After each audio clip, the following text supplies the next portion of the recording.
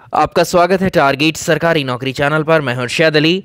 UP TET परीक्षा के लिए आज हम पर्यावरण यानी इन्वायरमेंट में डिस्कस करेंगे जीव विज्ञान के महत्वपूर्ण प्रश्नों को। हाल ही में जो आपका पेपर हुआ था यूपी टीईटी का, जिसको कैंसिल कर दिया गया था, उसमें आपने देखा जीव विज्ञान के बहुत सारे प्रश्न पूछे गए थे आपसे। तो वैसे ही प्रश्न हमने यहाँ पर जंतु विज्ञान और साथ ही वनस्पति विज्ञान के शामिल किए हैं। यानी जूलॉजी और बोटनी दोनों के ही प्रश्न इस प्रैक्टिस सेट में हमने शामिल किए हैं, डिस्कस करते हैं। वीडियो को आपसे रिक्वेस्ट है, लाइक कर दीजिएगा इसके नए पार्ट के लिए। आइए शुरुआत करते हैं। आज का प्रश्न नंबर एक देखेंगे। निम्नलिखित में से कौन सी सत्य मछली का उदाहरण है?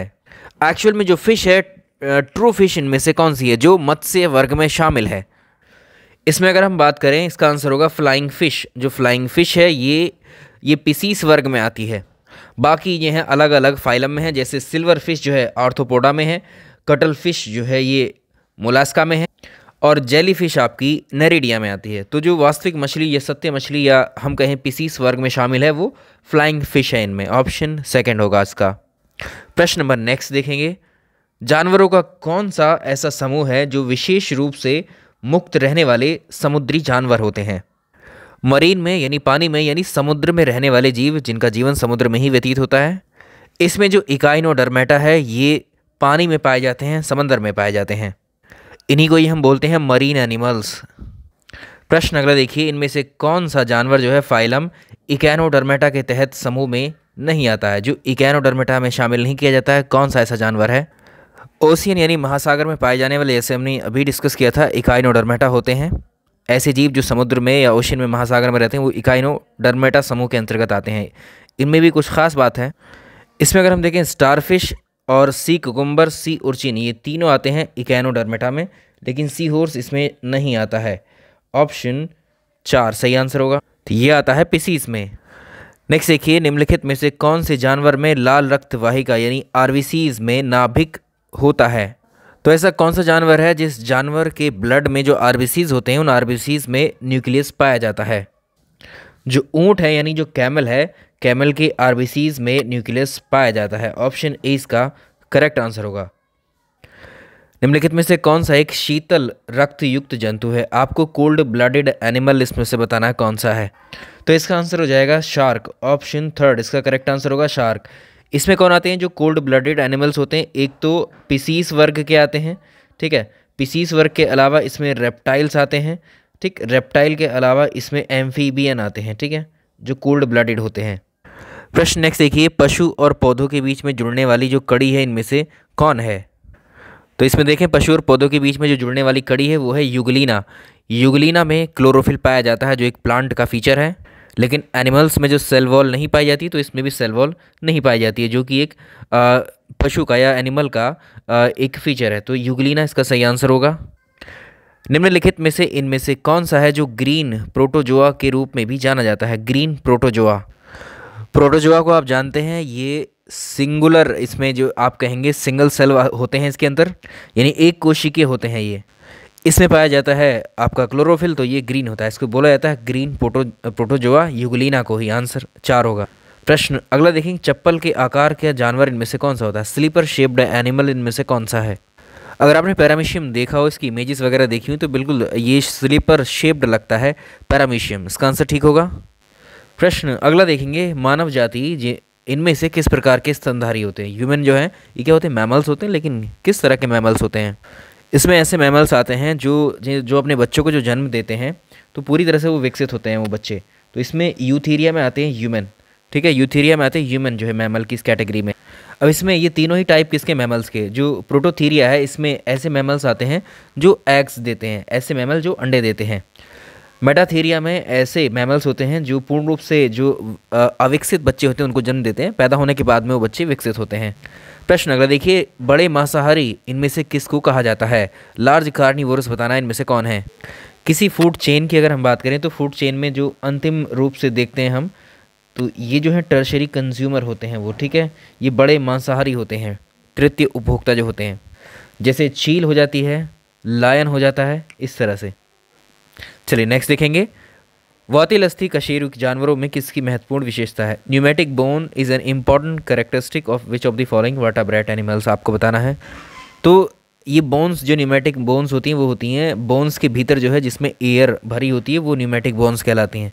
तो कौन से कौन से वर्ग में ऐसी व्यवस्था होती है?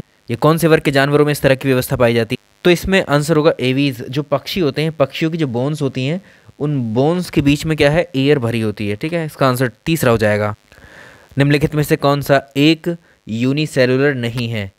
आपको बताना है, एक कोशिकी इनमें से कौन सा नहीं है? युगलीना, अमीबा, पैरामिशियम, ये सब क्या है? ये यूनिसेलुलर है हाइड्रा आपका यूनिसेलुलर नहीं है। ऑप्शन चार, ठीक ठीक आंसर होगा इसका। प्रश्न, अगला देखिए R H factor is named after species R H factor का नाम किन प्रजातियों के नाम पर रखा गया है? हमारे शरीर में जो ब्लड पाया जाता है ब्लड में क्या होता है? आर एच फैक्टर नाम का एक प्रोटीन होता है। तो ये किसके नाम पर रखा गया है इसका नाम? लैंड स्टीनर के द्वारा जो है आर एस फैक्टर की खोज की गई थी और ये रीसस मंकी, आर एच से है, रीसस मंकी, ये बंजर, बंदर की प्रजातियों के नाम पर इसको रखा हुआ है। अब आप अन अकेडमी के लर्निंग एप्लीकेशन पर भी मेरी क्लासेस से तैयारी कर सकते हो। यहाँ पर मेरी स्पेशल क्लासेस, फ्री क्लासेस भी अवेलेबल हैं और यहाँ पर प्लस क्लासेस भी अन अकेडमी की अवेलेबल हैं। अगर आप अपर पीसीएस की तैयारी कर रहे हैं, खंड शिक्षा अधिकारी या अदर एग्ज़ाम्स की तो डिस्क्रिप्शन में लिंक है, मेरे प्रोफ़ाइल का आप वहाँ पहुँच सकते हैं सीधे। इसके अलावा अन अकेडमी आपके लिए लेके आया है अपर पीसीएस के लिए आपकी अगर प्रिपरेशन कर रहे हैं तो 100 परसेंट स्कॉलरशिप टेस्ट है ये और ये फ्री स्कॉलरशिप टेस्ट है आपके लिए। फ्री टेस्ट सीरीज़ है जो कि संडे को सुबह दस बजे होती है, इसमें रैंक वन लाते हैं आपको 100 परसेंट स्कॉलरशिप मिलती है, यानी एक साल के लिए आपको।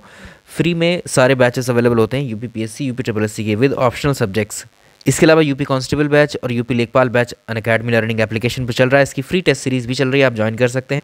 और यूपी कांस्टेबल बैच में मेरी जी के क्लासेस चल रही हैं अभी। जिसमें हिस्ट्री जोग्राफी ये क्लासेस मैं ले रहा हूँ इनकी और उन्नत रेजोल्यूशन बैच ये बैच आपका चार जनवरी को शुरू हुआ है, ये सात जनवरी को शुरू हुआ है। तो उस जीएस की टेस्ट सीरीज़ के साथ अगर आप आते हैं टेस्ट सीरीज़ में रैंक वन लेकर के, तब आपको प्लस के एक साल के कोर्स ये सारे upper P C S lower R O U P S I PET लेखपाल बी ये सारे कोर्स अनलॉक हो जाते हैं। अगर डायरेक्टली आप प्लस में जाना चाहते हैं तो प्लस के लिए आप सब्सक्रिप्शन भी अवेल कर सकते हैं इनके। सब्सक्रिप्शन की जो प्लान है, वो कुछ इस तरह से हैं। आप अगर एक मंथ का सब्सक्रिप्शन लेते हो तो सत्रह सौ रुपये और अगर चौबीस मंथ का लेते हो तो ये तेरह हज़ार छः सौ। और इस पर आप अगर I Ali I Ali ten referral code मेरा रेफरल कोड अगर आप इस्तेमाल करते हैं तो आपको टेन परसेंट का डिस्काउंट मिलेगा किसी भी सब्सक्रिप्शन पर। आई अली टेन ये रेफरल कोड है मेरा, और पीसीएस की तैयारी के लिए आपको ज़्यादा जानकारी इस नंबर पर मिल जाएगी, अन अकेडमी के किसी कोर्स के लिए nine seven one seven double eight seven double eight one पर। इस रेफरल कोड को यूज़ करेंगे तो आपको दस परसेंट का एडिशनल डिस्काउंट मिल जाएगा किसी भी सब्सक्रिप्शन पर। सवाल अगला देखिए, बड़ा इंपॉर्टेंट है कैपरा हिरकस इनमें से किसका वैज्ञानिक नाम है? कैपरा हिरकस बकरी का वैज्ञानिक नाम होता है कैपरा हिरकस ठीक है? बकरी का यानी गोट का नाम है कैपरा हिरकस आंसर इसका चार सही होगा। नेक्स्ट देखिए, खमीर और मशरूम जीवों के किस वर्ग के उदाहरण होते हैं? यीस्ट और मशरूम बताना है किस वर्ग में इनको शामिल किया जाता है। तो ये फंगी कवक, यानी फंगी में ये शामिल किए जाते हैं, खमीर और मशरूम दोनों को ही। अब इंपॉर्टेंट प्रश्न है, पिछला वाला भी, और ये भी बड़ा इंपॉर्टेंट प्रश्न है which of the following the largest animal phylum सबसे बड़ा पशु संघ इनमें से कौन सा है? यानी सबसे ज़्यादा एनिमल्स जो हैं, कौन से फाइलम में आते हैं? कौन सा संघ है जिसमें सबसे ज़्यादा जानवर आते हैं? जो आर्थोपोडा है, इसमें लगभग 80 परसेंट तक जो एनिमल्स हैं वो कवर हो जाते हैं ऑर्थोपोडा में, ठीक है? Option second. तिलचट्टा किस जाति से संबंधित है? Cockroaches belongs to which? Phylum. तो जितने भी कीट पतंगे हैं, वो सब ऑर्थोपोडा में तो तिलचट्टा भी किसमें आएगा? ऑर्थोपोडा में ही। अगला देखिए, एक्वस क्वागा जो है, किस जानवर का साइंटिफिक नेम होता है? तो ये नाम होता है जेबरा का, ठीक है? जेबरा इसका सही आंसर होगा। नेक्स्ट देखिए किस पशु के फेफड़ों का आयतन श्वास के सभी चरणों के दौरान अपेक्षाकृत स्थिर होता है? यानी जो इनका, अगर हम कहें लंग्स लंग्स जो है आमतौर पर बहुत ज़्यादा बड़े होते हैं। इसका सही आंसर होगा इसका सही आंसर होगा बर्ड्स जो पक्षी होते हैं, इनके लंग्स जो हैं, इनके लंग्स इनके शरीर के अपेक्षा में जो है काफ़ी बड़े होते हैं और ये, इसमें जो है एयर भर जाती है इनके लंग्स में। तो इनकी जो डेंसिटी है वो एयर से या तो लगभग बराबर हो जाती है कम हो जाती है, जो इसको, इनको उड़ने में हेल्प करते हैं। प्रश्न अगला देखिए। यूरिकोटेलिक जानवरों के द्वारा नाइट्रोजन अपशिष्ट किस रूप में उत्पन्न होता है? जो यूरिकोटेलिक जो एनिमल्स होते हैं, इनको कीट पतंगों को हम बोलते हैं। तो ये अपने शरीर से जो नाइट्रोजीनियस वेस्ट है, वो कैसे निकालते हैं? तो ये यूरिक एसिड के फॉर्म में रिलीज़ करते हैं, ऑप्शन सेकेंड। प्रश्न नंबर अगला देखिए, जो तितलियाँ होती हैं, तितलियाँ पशु किस पशु जाति से संबंधित है? किस फाइला में आती हैं तितलियाँ? तो तितलियाँ आपकी ऑर्थोपोडा में आती हैं, ठीक है? प्रश्न अगला देखिए, नैरिस फेरिटेमा जो कैचुआ होता है और हिरुदीन आर्या जोंक, जिसे कहते हैं, कैचुआ और जो जोंक हैं, वो किस जाति के एग्ज़ाम्पल होते हैं? तो ये होते हैं किसके? एनिलिडा के। ऑप्शन थर्ड इसका सही आंसर होगा। सवाल अगला देखिए, दूसरा सबसे बड़ा पशु संघ कौन सा है इनमें से? Second largest animal phylum arthropoda के बाद। तो इसका आंसर होगा मोलास का ठीक है? ऑप्शन एक प्रश्न अगला देखिए कैनिस वुल्पस किसका वैज्ञानिक नाम है? कैनिस वुल्पस ये होता है लोमड़ी का, यानी फोक्स का आंसर, इसका थर्ड होगा। अगला देखिए, अबोरियल एटेलिस। किसका वैज्ञानिक नाम है? Arboreal Ateles. इसका आंसर होगा स्पाइडर मंकी का है इसका। ठीक है स्पाइडर मंकी अगला है जो केकड़े होते हैं, वो किस संघ के हिस्सा होते हैं? क्रैप्स कौन से फाइलम को बिलोंग करते हैं? तो ये भी आर्थोपोडा में ही होते हैं। कुछ क्वेश्चंस हमने लिए हैं, आपको मैंने पहले ही बताया था जंतु विज्ञान के। कुछ हम शामिल करेंगे आपको वनस्पति विज्ञान के। ठीक है? अगला देखिए निम्नलिखित में से कौन आर्थोपोडा समूह का सदस्य इनमें से नहीं है? इसमें है टर्टल, ठीक है? टर्टल जो है रेप्टाइल है, बाकी ये किसमें आते हैं? आर्थोपोडा में ही आते हैं। चलिए, इनमें से बताना है आपको, इनमें से कौन सा एक बहुकोशिकीय मल्टी सेल्युलर ऑर्गेनिज्म है? तो इसका आंसर होगा, इसका आंसर होगा ऑप्शन ए जलकुंभी, इसको बोलते हैं हम अगेरियस, ठीक है? अगेरिकस। निम्नलिखित में से कौन से पादप हॉर्मोन्स हैं? प्लांट सेल्स की बात करें ऑक्सिन साइटोकाइनिन ऑक्सिन, साइटोकाइनिन और गिब्रेलिन।